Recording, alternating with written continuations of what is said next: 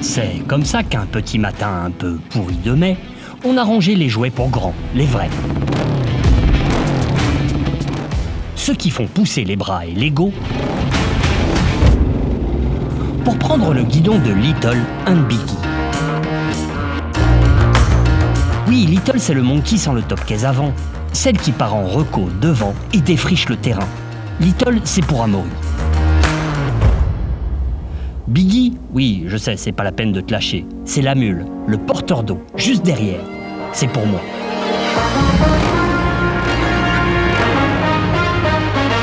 Objectif 1500 bandes d'off-road pure et dure. Quoi? Tu crois pas?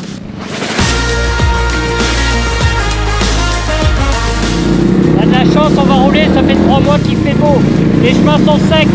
Humour, hein, ça fait trois mois qu'il pleut. Bon, en fait, t'as pas complètement tort. Et avec Amaury, on a vite compris que, bah, ça allait pas vraiment être simple.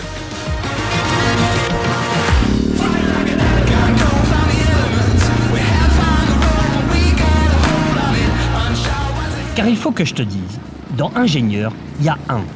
Mais honnêtement, j'y crois pas beaucoup. Il devait être au moins trois ou quatre, peut-être même des dizaines, les ingénieurs de chez Honda, lorsqu'ils ont décidé de se réunir pour créer le Monkey. Car dans le mot ingénieur, on peut aussi y voir celui de génie ou d'ingénieux. À savoir que les mecs ne se lancent pas à tête baissée. Ils font un cahier des charges avec la cible recherchée, le prix final, la puissance, le poids, les performances, la technologie employée, le look, et tous ces trucs doivent se marier, même si parfois c'est contradictoire. Où je veux en venir Bah que moi je suis pas ingénieur, et tu vas vite comprendre pourquoi. Car nos Monkey, j'ai beau leur avoir collé un kit Takegawa 180 sur le bas moteur, des suspensions Hollins, des freins de la mort qui tuent, un gros réservoir, ça n'en fait pas pour autant des bêtes d'enduro. Et ça, on l'a découvert assez rapidement, lors du prologue. D'autant que de récentes et incessantes pluies ont rendu le terrain boueux, gadouilleux, voire même impraticable. Oui, je te parle de tenue de route. Bah, c'est comme si tu avais un, un porte-bébé à l'avant de ton vélo euh, avec un bébé de 20 kg. C'est impossible. C'est improbable. Tu feras jamais des milliers de kilomètres avec ça. C'est totalement inconduisible. C'est ce que j'étais en train de dire. Évidemment, il fait comme C'est une punition. Avec nos gardes au sol ridicules, nos pneus en bois et nos roulettes de caddie, les roues de 12 pouces quoi, à l'avant et à l'arrière, ça allait pas être de la tarte. Oh oh oh oh Hop hop hop hop hop Oh, faut qu'il y ait personne en bas. Oh putain, c'est parti.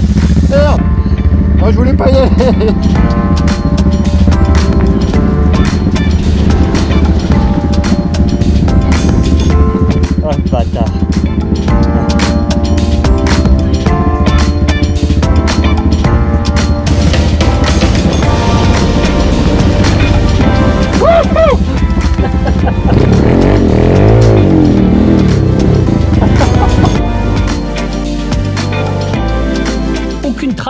Cohérente. Garder les pieds au sol sur les repose-pieds relevait du numéro de cirque. Elle s'est calée, j'ai pas compris. Elle a fait ça, tu sais, normalement je l'accompagne et je repars. Tout. Avec le poids qu'il avait, Il m'aurait fallu ton top caisse à l'avant, ça aurait Ouais, été nickel. exactement. Je vais m'entraîner ici pour le Dakar. Nos top cases créaient également un sérieux déséquilibre dû au manque de poids sur l'avant. Tels d'anonymes alcooliques, nous titubions de droite et de gauche dans les champs. N'importe. Ah ouais. On va dégonfler. Oh merde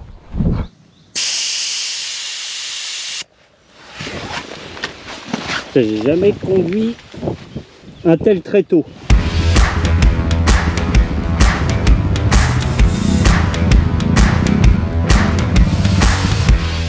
On montera jamais Non. Un truc comme ça, ça monte pas.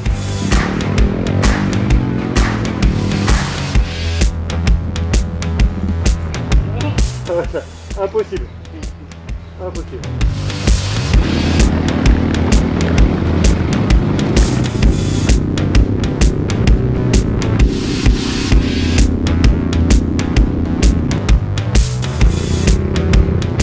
Puis, la trace s'est faite plus mince. Un tout petit sentier monotrace qu'Amaury prend souvent pour se faire les bras en enduro. Un kilomètre dans un ancien ruisseau. On y a passé une heure. Le plus étonnant reste la curieuse propension qu'ont nos monkeys à vouloir faire la tortue. Un petit coup d'embrayage pour franchir une marche, un tronc d'arbre, et hop, ça suffit à les faire se dresser sur l'arrière. Un peu trop, au point de venir se poser nonchalamment sur leur top case. Ok, je suis peut-être pas ingénieur, mais j'ai sans doute réussi le plus fumeux des coups de la génétique. Transformer des singes en tortues. Je reconnais que ça sert à rien, mais reconnais-toi que c'est un sacré tour de force. Les pneus en bois ne nous permettent pas non plus d'aller chercher les appuis sur les rebords. Du coup, on est obligé de se farcir la ravine centrale, pleine de branches, de cailloux et de margelles. On l'a fait.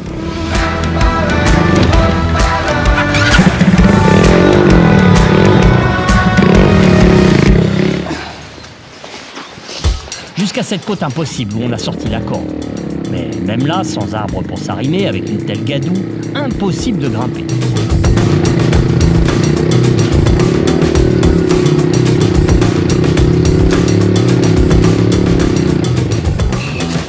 Et merde.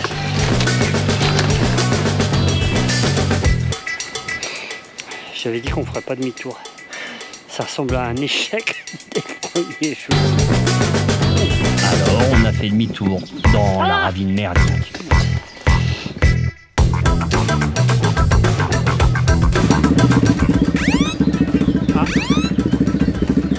Non, pas tout de suite. Appelle pas. Là, je bouillais un peu sous mon casque. T'imagines deux mois de travail et de réflexion intense sur cette mini Africa Twin pour devoir faire demi-tour. C'est la première et la dernière fois, tu m'entends C'est bien la première et la dernière fois de ce road trip qu'on fait demi-tour. Avec Amaury, on a arrangé deux ou trois trucs sur nos tortues ninja. Et on a filé vers notre premier bivouac, dans une carrière désaffectée. C'est l'hôtel. Ça passe Ouais, ça passe. Il y a plus glam et sexy, mais vu que la nuit s'annonçait pluvieuse, c'était un peu de confort gagné. Ah, faut aussi que je te parle d'un truc, l'histoire du bivouac. Ça fait bonhomme de dire que tu fais du bivouac. J'adore ça, mais faut bien reconnaître un truc, tu passes des nuits merdiques. Ton matelas doublé d'un isolant fait un raffut d'enfer dès que tu te retournes. Tu dors dans un sarcophage, alors que moi, j'aime dormir en étoile. Le mec d'à côté, à Amaury, bah il ronfle. Quand il ronfle pas, il souffle dans son matelas pour le regonfler, parce qu'il est crevé. Bien plus glamour que la nuit euh, sous les étoiles. Ah, La nuit dans la grotte. Pas dans des carrières un peu bourlingues. Ça va un peu avoir de la poésie quand tu fais du road trip. Je te présente ma chambre. Enfin, notre chambre. Tu me vois là?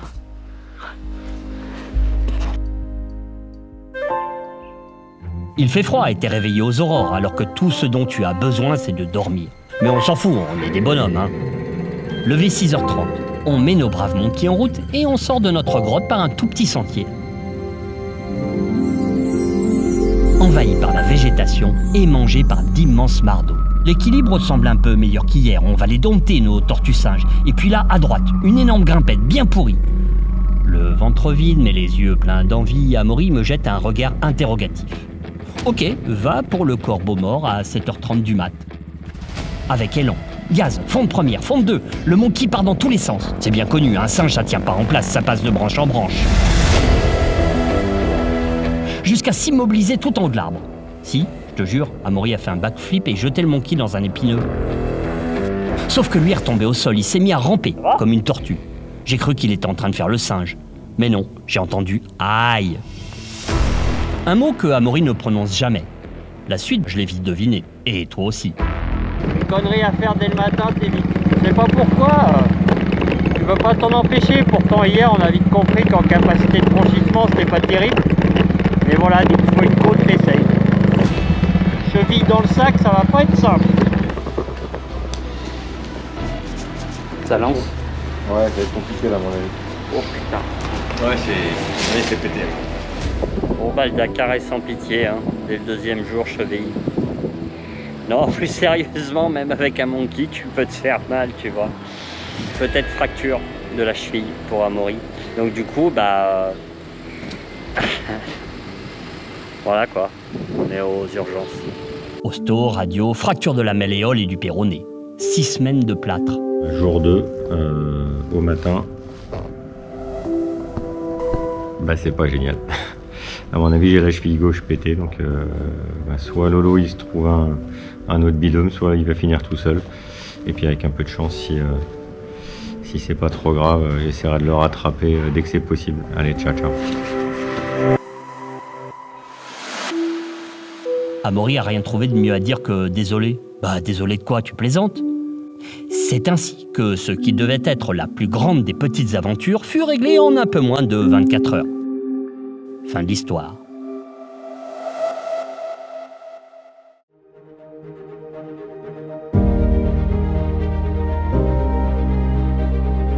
Mais non. Bon, j'avoue quand même ne pas y croire moi-même. 15 jours plus tard, la mort dans l'âme, je prenais une décision difficile. J'ai repris la route, seul. Putain, j'y crois pas. J'ai séparé Tic du con et du con, Little de Biggie. J'ai du mal à y croire, mais il faut l'accepter. Je me suis consolé comme j'ai pu. En groupe ou à deux, l'aventure est une promesse de poilade, d'engagement physique intense sur le terrain et de sincère amitié. Mais seul, l'aventure reste quand même une promesse tout aussi forte. Responsabilisation, débrouille, rencontre, authenticité et même un peu d'introspection.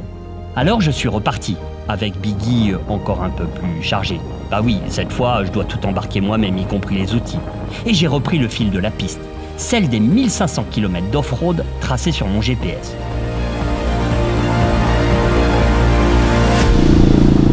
« 23 km heure, une pointe de fou Ça guidonne, ça nous voit pire que le MotoGP Certes, c'est beaucoup moins gras qu'il y a 15 jours, mais ça reste compliqué. Les petites roues de 12 pouces s'avèrent handicapantes, provoquant travers et trajectoires assez curieux, mais très innovants. Ouais, à droite, à gauche, euh, dans tous les sens. Hein. Comme je suis pas du genre à rentrer au stand en disant que la moto est une bouse, je m'adapte, j'anticipe. Je me dis que visiter tel ou tel fossé reste un moment impromptu et bucolique, donc forcément plein de charme.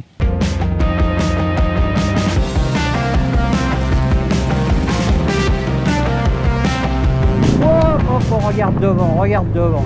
On pourrait te dire petite moto, c'est facile. La moindre erreur, la moindre faute d'inattention, tu payes cher, cher, cher. À cette époque, les herbes sont hautes, voire immenses dans les chemins. J'ai l'impression que les roues de 12 pouces sont avalées par cette végétation débordante. Assis sur mon minuscule monkey, mon casque dépasse lui à peine de cette jungle. Je fais moissonneuse batteuse. Parce que je mange, mais c'est bio, hein. je mange des graines. hein.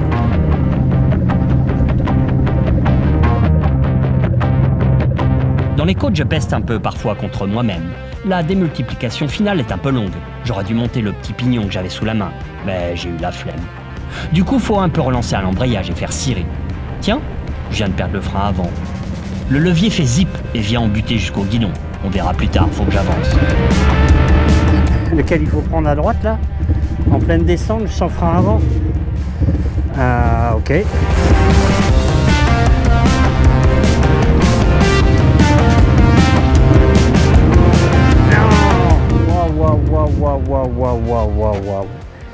Alors, première chose, repérage.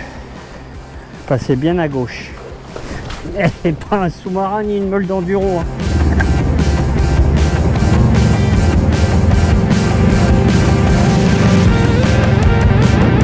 Allez, vas-y.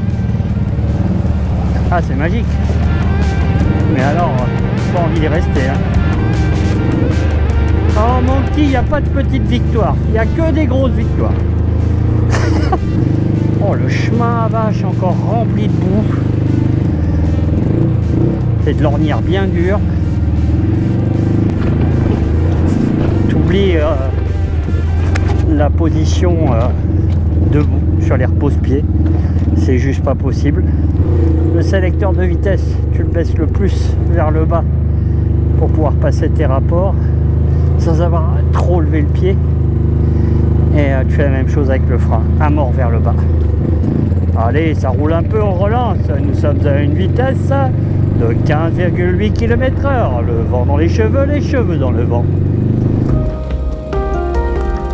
Et puis j'ai vite relativisé mes problèmes en tombant sur le maquis Bernard, perdu en pleine forêt du Morvan. Un maquis fondé en mars 1943 par Louis Aubin, rattaché aux forces françaises en 1944, ultra soutenu par la population locale.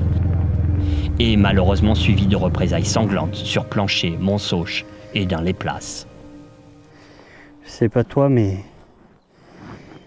moi, il y a des, des lieux comme ça qui imposent juste le, le respect. C'est hallucinant. L'endroit est, est druidique, quoi. L'impression que c'est magique et d'une tristesse incroyable en même temps, quoi. Sept aviateurs de la RAF ont été euh, inhumés ici. Drapeau anglais. Et derrière, des croix de résistants.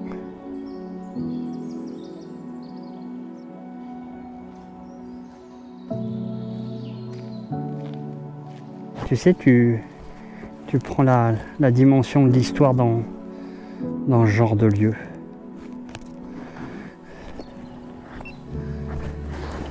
Tu vois, ça m'a rendu tout petit dans ma soi-disant aventure. Une bonne chose. Il fait beau, alors je me dis que j'ai une putain de chance d'errer dans tous ces petits chemins, de fouiner le moindre recoin, de lever autant de faisans et de perdreaux.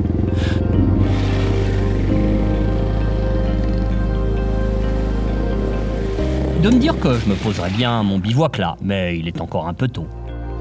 Alors je roule de chemin en chemin, jusqu'à tard. La conso s'établit au 3 litres 43 au sens, qui m'offre 291 km d'autonomie et une sacrée liberté de m'arrêter où je veux. Ici? Ouais, il est temps car la nuit s'est installée. Par là, ça doit être bien, non? Ouais, là c'est bien. Allez, bonne nuit.